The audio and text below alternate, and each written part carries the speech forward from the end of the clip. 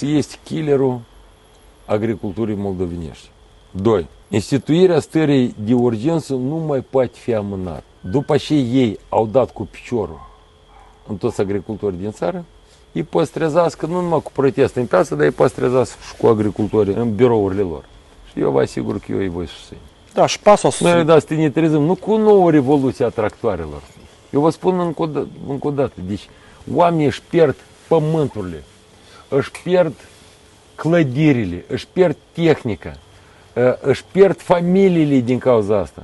Și azi e decret că ei așa se miroase, tipă urât și să fac și vor din agricultori. Tot așa de frumos vorbeau și cei din PAS când erau în opoziție și agricultorii protestau în 2020 și 2021 înainte de alegeri. Și din pas mi-au furat ideea care acum toți agricultorii recunosc că au discutat-o cu mine în 2020 noaptea pe frigider. Pasul a luat-o și nu-i problema că pasul a luat-o de la usate.